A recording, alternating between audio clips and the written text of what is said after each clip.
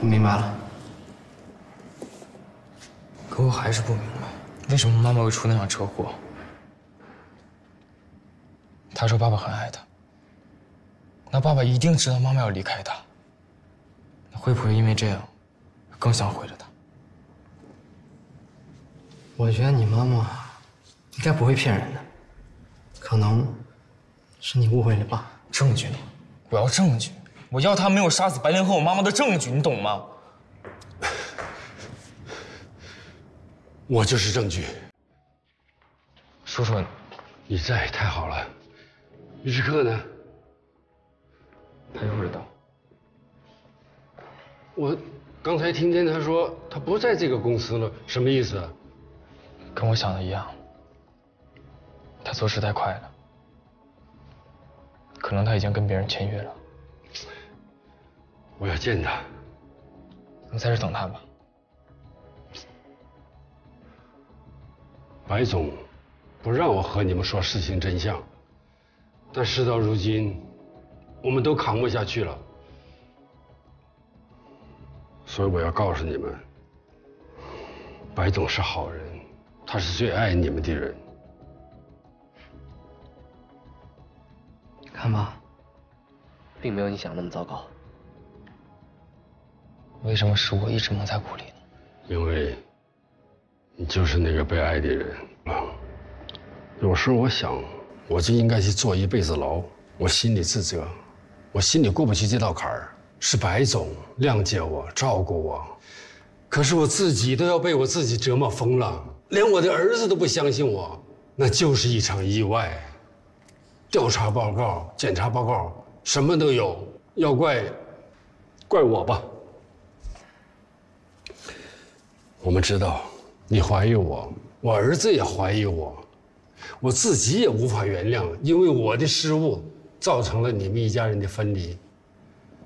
律师也承受不了内心的煎熬，只有白总，白总一个人在苦苦支撑着。我们都错了，不，叔叔，是我们错了，对不起。你不怪我吗？虽然我还是很想妈妈跟白灵，可是那就是一场意外啊！你真的相信我？从看见你那么悲伤的进门的那一刻开始，我就知道应该是自己错了。你们一路看我们长大，我们让你们失望了。现在必须得找到尉迟克了，先把八百万广告费收上。他如果听话，给几万块钱；如果不听话，给我封杀，别给我整出什么幺蛾子。是啊，这个合约的赔款就是一千万，这孩子肯定不敢反咱们。慎重啊，小心驶得万年船。我们现在通过他呀，整垮白飞利，比什么都重要。妙丽要听话的话。就唱唱歌、跳跳舞、拍拍戏，不听话也给我雪藏。没工夫哄他，整天把他自己弄得像腕似的。是是是，老板所言极是。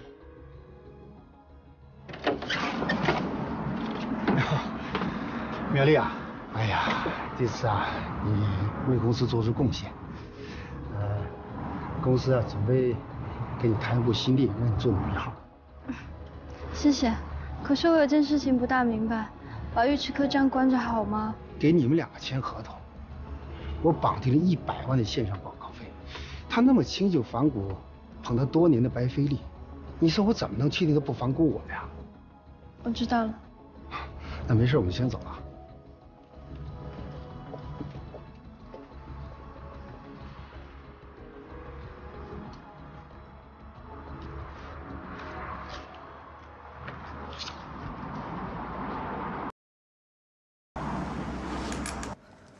喂，尉迟科，你们在哪儿？